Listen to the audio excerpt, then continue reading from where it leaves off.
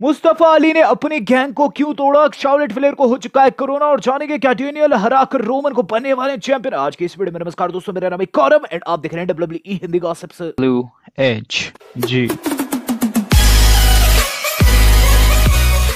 सुस्वागतम दोस्तों W H की एक और वीडियो में आप सब लोगों का स्वागत है और आज की इस वीडियो के अंदर दोस्तों बहुत सारी अपडेट्स कवर करने वाले हैं। ये मैं आपको नहीं बताऊँगा कितनी खबरें हम कवर करेंगे, आपको खुद कितना होगा। वीडियो की शुरुआत करते हैं दोस्तों, अपने सी एम पंक की न्यूज़ के साथ।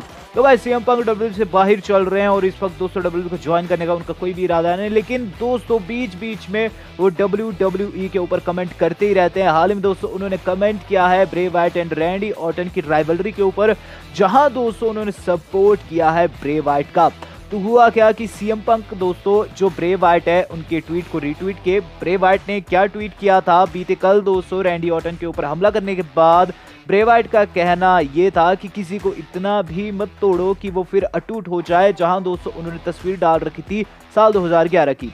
साल 2011 में, दोस्तों नेक्सिस जो थी उसके ब्रे वाइट या फिर कह लीजिए हस्की हैरिस के ऊपर हमला बोले थे, रैंडी ऑटन पंट किक मारे थे। शायद इसी का बदला आज लिया जा रहा है। इस पर दोस्तों, सीएम पंक ने ये चीज़ लिखी कि मैंने तो उस वक्त भी रैंडी को कहा था, ऐसा ना करे, लेकिन रैंडी ने किया। अब यहाँ मैं होप करता हूँ कि इस चीज़ को ब्रे तुमने दिल से ना लगाया हो। तो कुल मिलाकर दोस्तों, ब्रे वाइट ने वही बात दिल पर ले ली है। और जैसे दोस्तों, अपडेट्स है इस बारी की रेसल मीनिया दोस्तों ब्रे वाइट की है नाम रहने वाली है, जलेले ब्रे वाइट के नाम रहने वाली हम चलते हैं इससे अगली अपडेट के ऊपर।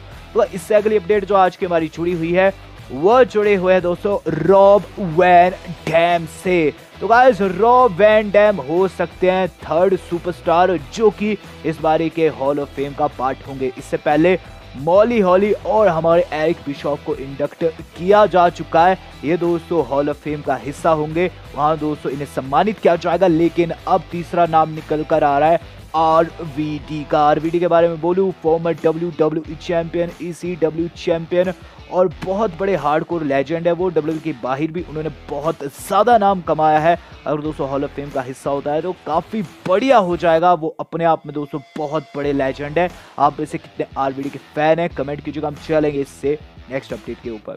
तो इससे अगली अपडेट जो आज की बारी जुड़ी हुई है, वो जुड़ी है दोस्तों बियंका प्लेयर से, जिनका कहना ये है कि उन्हें किया जाना चाहिए रेसलमेनिया मेन इवेंट तो हाल ही में इंटरव्यू हुआ था बियंका प्लेयर का, जहाँ दोस्तों उन्होंने ये चीज़ कही कि देखो, साशा और मेरी फाइट होने वाली है। मैं चाहती हूँ कि नाइट वन का मेन इवेंट हो। उनका ये कहना रहा कि फैंस भी ये चीज़ चाहते हैं, और वैसे भी हम तो हिस्ट्री बना ही रही है, क्योंकि हम दोनों ब्लैक है और टाइटल के लिए लड़ रहे हैं, जो कि पहली दो महिलाएँ ऐसा करने वाली है। हिस्ट्री तो क्रिएट होगी होगी, लेकिन मैं चाहती हूँ, मेरा सपना भी है कि हम मेन इवेंट करें। तो गाइस ये शायद से जगह लेना चाहती है Roman versus Daniel versus H की, या फिर दोस्तों हमारे लैशली वर्सेस ड्रू मैकेटायर की। पर क्या बियांका ब्लेयर को मेन इवेंट मिलना चाहिए? ये अपना ओपिनियन ज़रूर दीजिएगा, हम चलेंगे इससे अगली न्यूज़ के ऊपर। तो इससे अगली न्यूज़ जो आज की हमारी जुड़ी हुई है वो जुड़े हुए हैं दोस्तों, मुस्तफ़ा अली और रेट्रीब्यूशन से। तो आखिर क्यों रेट्रीब्यूशन इतनी जल्दी टूट गई? क्या इसके पीछे का रीजन रहा? क्यों फास्ट लेन में डब्ल्यू डब्ल्यू ने अली की टीम को तोड़ा? चले जान लेते हैं। तो गाइस बताया यही चाह रहा है कि मुस्तफ़ा अली इंजर्ड है और गाइस इंजर्ड रहते हुए वो फाइट्स दे रहे हैं। उनके दोस्तों पीएसएल में टॉन आ रखा है, जिसके चलते दोस्तों, वो इंजरी में ही फाइट दिए जा रहे थे और डिले की जा रही थी सर्जरी जब डब्ल्यू ने देखा कि काफ़ी समय हो गया है और रेसल मीनिया तक अली नहीं पहुँचने वाले हैं तो इस थिंग को दोस्तों शुरुआत में करवा दिया गया यानी कि पास लेन में दोस्तों इसीलिए हमें ये एंगल देखने को मिला है। हालाँकि प्लान यही थे कि रेसल मीनिया के बड़े स्टेज पर इनकी टीम टूटे, लेकिन गाय सर्जरी करानी थी। और कराई है। बताया जा रहा है, जल्द दोस्तों अली की सर्जरी होगी और यहाँ दोस्तों इसलिए इनकी टीम को डिसबैंड किया गया है। रेड रिविशन के लड़के अब आपको नहीं देखने को मिलेंगे। चलते हैं दोस्तों इससे अगली न्यूज़ के ऊपर। तो इससे अगली न्यूज़ जो आज की हमारी जुड़ी हुई है, वो जुड़े हैं दोस्तों हमारे डेव बटिस्ता से। तो डेव बटिस्ता के ऊपर कल दोस्तों एक रूमर आया था और ये रूमर था कि डेव अर्टिस्टा जो है, वो हॉल ऑफ़ फेम का हिस्सा, इसीलिए नहीं होने वाले हैं। क्योंकि गाइस इस बारी के हॉल ऑफ़ फेम में ज़्यादा ऑडियंस नहीं होगी और डेव बटिस्ता ऐसा नहीं चाहते। तो रूमर्स का अंत करते हुए डेव बटिस्ता ने कहा कि हाँ ये रूमर्स जो थे, बिल्कुल सत्य है। देखो भाई, मैं चाहता हूँ कि मैं हॉल ऑफ़ फेम का तभी हिस्सा हूँ जब क्राउड भरपूर हो एरिना में और मैं अपनी स्पीच अच्छे से दे पाऊँ। मैं यही चाहता हूँ कि ज़्यादा से ज़्यादा फैंस उस इवेंट को इवेंट को जो है अटेंड कर पाए और यहाँ दोस्तों डेव बटिस्ता ने अपने फैंस का भी धन्यवाद किया है, जो कि हमेशा से उन्हें सपोर्ट करते हैं। कुल मिलाकर दोस्तों, ये चीज़ साफ़ हो चुकी है कि डेव बटिस्ता 2021 में हॉल ऑफ़ फेम का हिस्सा नहीं होंगे। चलते हैं दोस्तों, इससे अगली अपडेट के ऊपर। तो भाई, इससे अगली अपडेट जो आज की हमारी जुड़ी हुई है, वो जुड़े दोस्तों अलस्टर ब्लैक से। तो अलस्टर ब्लैक काफ़ी समय से गायब है इस हफ़्ते दोस्तों, हमने एक बड़े सुपरस्टार को डब्ल्यू को छोड़ते हुए देखा है। अंद्रादे सियान अलमस को रिलीज़ कर दिया गया है। वो दोस्तों, अब आपको कभी भी डब्ल्यू में नहीं दिखाई देंगे। हाल ही में दोस्तों अपडेट आई है अलस्टर ब्लैक के ऊपर। डेम एल्जर की माने तो गाइस अलस्टर ब्लैक जो है, उनकी इंजरी का पता नहीं लग पाया है कि आई कब थी, क्या समय था। हालाँकि अक्टूबर 2020 से गायब है। ड्राफ्ट किया गया था स्मैडाउन में। स्मैडाउन में वो दिख नहीं पा रहे हैं, जिसके पीछे का रीजन दोस्तों, अभी तक ढंग से सामने नहीं आ पाया है। हालाँकि जैसे लक्षण है दोस्तों अलस्टर ब्लैक के, मुझे क्या लगता है कि वो भी डब्ल्यू e को छोड़ सकते हैं। बीते कल दोस्तों उन्होंने अंद्रादे सियान अलमस को शुभकामनाएँ दी है उनके फ्यूचर के ऊपर। अंद्रादे दोस्तों डब्ल्यू e को छोड़ने के बाद से सुर्खियों में है। वहाँ दोस्तों अलस्टर ने ये चीज़ कही थी कि मैंने तुझे एनएक्सटी में फेस किया, हमारी राइवलरी काफ़ी बढ़िया थी भाई। जहाँ दोस्तों अंद्रादे ने उनका धन्यवाद भी किया। कुल मिलाकर दोस्तों अलस्टर भी ऐसा लग रहा है कि जल्द डब्ल्यू e को छोड़ देंगे। चूँकि दोस्तों उनकी सो कॉल्ड वाइफ यानी कि सेलिना वेगा भी डब्ल्यू को छोड़ चुकी है। चलते हैं दोस्तों इससे अगली न्यूज़ के ऊपर। तो इससे अगली न्यूज़ आज की हमारी जुड़ी हुई है, वो जुड़े दोस्तों सैथ रॉलिन से। तो इस खबर को बोलने से पहले मुझे हँसी आ गई, क्योंकि दोस्तों ये काफ़ी फनी खबर है। सैथ रॉलिंस ने दोस्तों काफ़ी तगड़ी मस्ती कर दी है। हुआ क्या कि फैंस ने दोस्तों ट्विटर के ऊपर ये चीज़ कही कि देखो पोस्टर पे सैथ है ही नहीं। सैथ ने दोस्तों उस पोस्टर का एक छोटा सा भाग निकाला। ट्वीट किया। उसमें चीज़ लिखी है, देखो, फ्रंट एंड सेंटर पर एक विजनरी मैन खड़ा, विजनरी किंग खड़ा हुआ है, जिसे आप ढंग से नहीं देख पा रहे हैं। और गाइस जब उन्होंने जूम्ड पिक्चर डाली तो वाकई में दोस्तों स्कल के अंदर एक बंदा खड़ा हुआ जो कि कोई और नहीं, हमारे सैथ रॉलिंस है।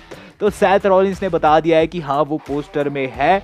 लेकिन बहुत छोटे स्वरूप में हम चलते हैं आज की अपनी सेगलास न्यूज़ के ऊपर। तो भाई सेगलास न्यूज़ जो आज की हमारी जुड़ी हुई है, वो जुड़े दोस्तों शावलिट प्लेयर से। तो शावलेट प्लेयर के ऊपर दोस्तों एक नहीं, दो बड़े अपडेट आ चुके हैं। सबसे पहला अपडेट तो यही है दोस्तों कि शावलेट प्लेयर को कोविड 19 हो चुका है। ये खबर दोस्तों कल ब्रोक हो गई थी, लेकिन गाइस इसकी ढंग से पुष्टि आज हुई है। शावलेट प्लेयर ने दोस्तों ट्वीट करके ये चीज़ कही है कि हाँ कोविड 19 हो चुका है कोविड पॉजिटिव वो हो चुकी है।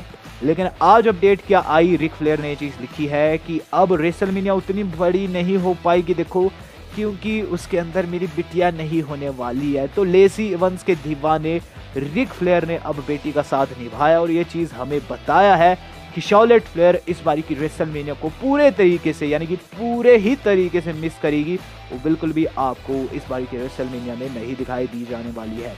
चलते हैं दोस्तों, आज की अपनी मेन खबर के ऊपर। तो इस मेन खबर जो आज की हमारी जुड़ी हुई है, वो जुड़े है दोस्तों डेनियल ब्रांड से। तो एक तरीके की स्पेकुलेशन है, क्या डेनियल ब्रांड बनने वाले हैं ब्रांड न्यू यूनिवर्सल चैंपियन तो गाइस जैसी अपडेट्स है इस बारी का, जो रेसलमेनिया का मेन इवेंट रहेगा नाइट टू का, वो दोस्तों प्रोबेबली चेंज हो सकता है। तो इससे पहले यही बताया जा रहा था कि रोमन वर्सेस एज होगा स्पीयर वर्सेस स्पीयर होगा। लेकिन गाइस अब ये चीज़ बताई जा रही है कि वहाँ डेनियल ब्रांड जल्द ऐड हो जाएँगे, वो एक ट्रिपल थ्रेड बन जाएगा। डेनियल दोस्तों, इससे पहले एक ट्रिपल थ्रेट में काफ़ी बड़ा चमत्कार किए थे। आज से कुछ साल पहले, दोस्तों Randy versus Batista versus Daniel हुआ था, जहाँ सभी को चौंकाते हुए अनडिस्प्यूटेड चैंप बन गए थे। क्या इस साल फिर से वो चमत्कार होने वाला है? कई फैंस के दिमाग में सवाल है। तो गाइस अगर डेनियल चैंपियन बनते हैं तो मेरे हिसाब से बहुत बड़ी थिंग हो जाएगी लिटरली काफ़ी बड़ी थिंग हो जाएगी, क्योंकि इस वक्त सारे लोग यही सोच रहे हैं, या तो रोमन रेंज डिफेंड करेंगे, या फिर एज कुछ बड़ा शौक करेंगे। डेनियल ब्रायन दोस्तों, एक ग्रुप का इक्का साबित हो सकते हैं। लेकिन गाइस बात की जाए कैसी अपडेट्स है, क्या एक्सपर्ट्स का मानना है तो बताया यही जा रहा है, ना ही एज ना ही डेनियल वहाँ दोस्तों रोमन रेंस रिटेन करेंगे, चूँकि रोमन रेंस का जो टाइटल रेंज चल रहा है टाइटल रन चल रहा है, काफ़ी स्मूथ चल रहा है ही लोग काफ़ी अच्छे से निभा रहे हैं। बट गाइस डेनियल जीत जाते हैं तो काफ़ी ज़्यादा शौक हो जाएगा। मेरे हिसाब से वहाँ रोमन रिटेन कर देंगे। आपको क्या लगता है? कमेंट करके ज़रूर बताएगा। वीडियो पसंद है, वीडियो को लाइक एंड शेयर ज़रूर कीजिएगा। वीडियो से पहले थैंक्स फॉर मेंबर्स पहले आज तक के लिए इतना ही। धन्यवाद। शपथ है।